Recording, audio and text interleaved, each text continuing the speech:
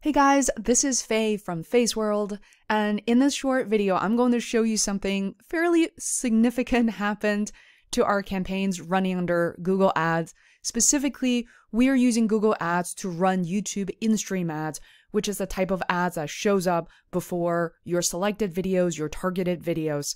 But here's what happened. After I've been doing this for myself and my clients for months and months, what we do is we set a daily budget. For example, something very small like what you see on the screen, $5 a day. And one day I woke up literally two days after the video has been approved, which is this first video that you're looking at at number two, marketing and website services. I saw a number that says $116. Okay, was a little bit less because I'm recording this video two days after this incident. And I freaked out for a second because I've never seen this happen. I immediately expected this to be a glitch, a bad thing, because what happened? Uh, why is my ad running so hot all of a sudden, exceeding what I set as a daily budget? So for you to panic, make sure that you double check under something that's called report. Let me show you real quick. So if you look to the upper right hand corner, there is something called a reports, which many people neglect. So when you click on report, where you want to go is predefined reports, and then slide over, go all the way down to other, and then you're going to see about billed cost. Now, this report is going to give you a very detailed view uh, for two things. One is called served cost. This is how much money your clicks, your views are worth. Uh, it's what's been served by Google Ads. And to the right side of the column, it's billed cost, which means how much you've been billed for that. Of course, for the most part, these two numbers are going to be very close, if not equal completely, right? You're able to see as I'm scrolling down. So now, as I'm scrolling down, here's something that magic uh, magically happened that really shocked me. So, what I mean by that is that the served cost went really high. So, let me sort by high versus low. And as you can see right here under Feisworld Services, which was um, the campaign I was showing you, now you have two numbers $87.94. That was served by Google, but what was charged to me was $6.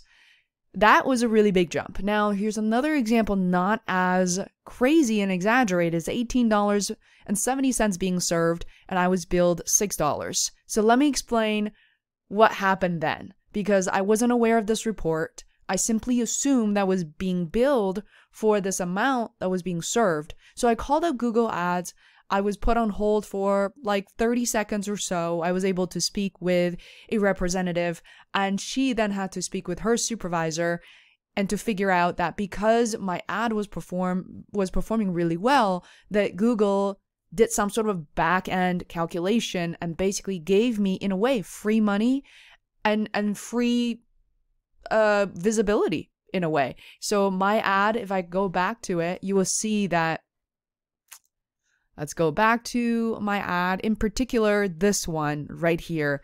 Uh, you can see that these ads are actually quite different. The first one is design your website. And you may be wondering, what was my targeting techniques? Um, was it super tricky and super advanced? No, it wasn't. I was simply targeting, uh, I'll show you in a second, the audience I was targeting. Uh, basically, people who are starting a business, people who are starting a new job. I want to target my web design services to new entrepreneurs and some of the seasoned entrepreneurs as well. Um, so as you can see, the impressions I had nearly 6,000 and the views are 895, which uh, averaged the view rate to be about 15%, which is not extremely high uh, compared to, you know, this one down below for marketing mentorship, which is targeting the exact same audience but has a uh, a lot higher view rate. But then again, once you have a you know much higher impression some of these numbers could be diluted and could change very quickly and my um, average a cost per view is 13 cents which is not bad but here's my uh, cost which is not what i'm paying for and this is just I think this is really wonderful. Uh, if you were to ask me, no, it did not last. It only went on for about two days for me, for my ad. I don't know how Google ever uh, chooses or selects the person they want to uh, really run this boost for, but I feel really lucky that they chose us and definitely gave us a lot of free visibility. Now let's take a look at the demographic information and um um sorry, I meant actually uh, audience. But now we're under demographic. Um, just so you guys know, I tend to want to target people who are not within the 18 to 24 age range. I tend to run them for uh, 25 to 34 and then um, all the way up to be about 64 and 65 and up. I don't typically have them as my clients, so I excluded them as well. Let's take a look at audience here, real quick. So, my audience, as I mentioned earlier, uh, I have people who are creating new businesses, people who are in advertising, marketing services, uh, career consulting, because some of my clients are coaches and helping people with their careers, and people are starting a job soon. This I wasn't so sure about, but a lot of people going through changes and transitions typically are considering hiring uh you know a marketing consultant hiring a mentor like myself. So those i'm experimenting. Uh, so these are some of the life events that you can easily choose and target within google ads. So i hope you find this helpful. Please leave any questions that you have any things that you notice uh, because google ads are just getting so complex these days and there are a lot of little nuance that we're all learning adapting and sharing hopefully on youtube. If you haven't subscribed please do and i look forward to seeing you in the new video very soon.